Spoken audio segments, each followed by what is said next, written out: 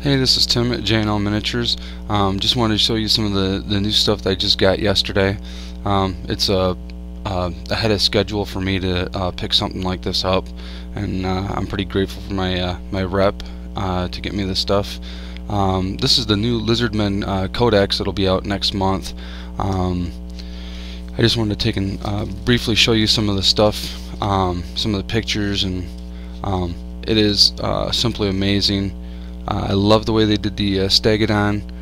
Um, the temple guards are fantastic. There's uh, quite a few um, um, cool things that you can do now with your uh, Kroxigors by putting them in with units of skinks to give them uh, um, ranks and uh, outnumbering abilities and stuff like that. Um, I still need to read up on it a little bit more to get a little bit more of an idea of how everything works. First thing I wanted to show you was the uh, the temple guard. The temple guard now are in plastic. Uh, they did a fantastic job on their uh, on their weapons.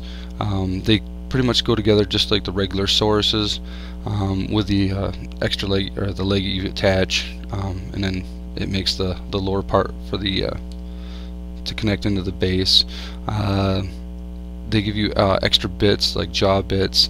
The heads look a lot uh, nicer. The skulls on top of the temple guard are a lot smaller. They're not as uh, as huge as what they were before with the medals. Uh, highly detailed, fantastic, fantastic jobs. Um, I believe this is a, a 10-man unit, so you would get uh, two uh, basic command sprues, and then you get two smaller sprues, and that would be your your 10 man uh, uh, box that's going to be coming out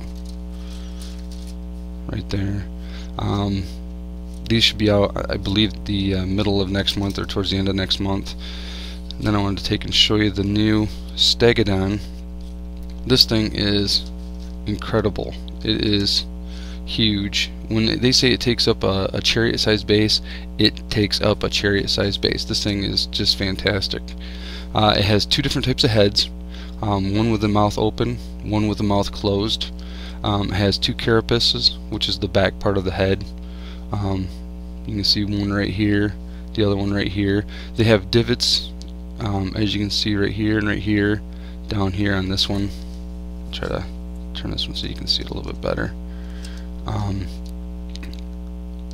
There you go. And you can see the divots in there. And that's for the additional horns that you have. They come with quite a few different horns. Um, so that's kind of nice. Um, very highly detailed. Um, looks very easy to put together. And then uh, this is the uh, sprue for all the uh, skinks.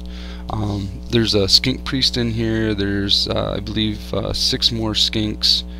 Uh, there's uh, the War Machine of the Ancients that you can build, so you can have an ancient stegadon Um, the Howdah is very nice. Here's the here's the floor of the Howdah right there. This is one of the back pieces, but very nicely detailed. Uh, here's the the giant crossbow. They have also uh, giant uh, blowguns, which are right here. There's uh, I think you can fit it with two of them you can either have the um, the War Machine of the Gods, um, the giant bow, or you can have the uh, the giant blowguns, and uh, that's one of the three options you can have. You can see how the, this right here is one of the seats. I think that's for the priest. Um, it's fantastic, you know, detail work. They look really good.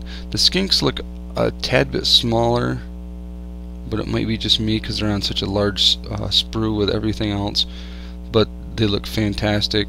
Um, they did a great job sculpting the high detail. There's War Machine of the Gods right there. I believe that's what it's called. But that's my uh, my review.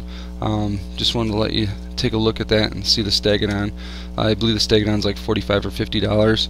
Uh, well worth it especially if you're a Lizardman player. Um, this is a, a, nicer looking piece than than the metal one. And it's gonna be a lot easier to, to move around and uh, carry with you and not have to carry about two pounds worth of lead.